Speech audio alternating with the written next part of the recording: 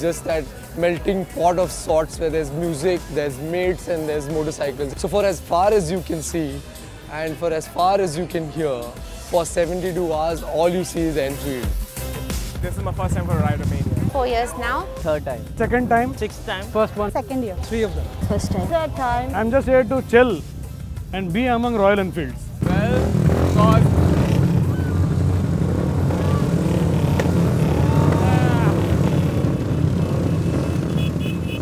I came here for all this that you just saw. Rider Mania has been awesome like it always has been. I look forward every year to this one event and I make sure I never miss it. Happening. It is totally happening.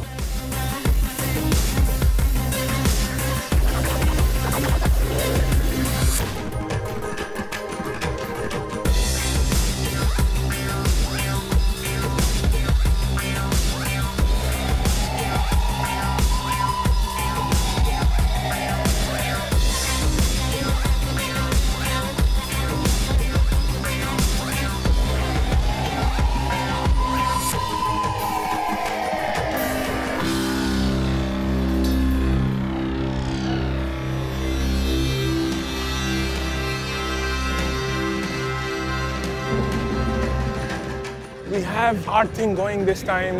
Lots of people coming in and doing something around the motorcycling, but in a completely different way.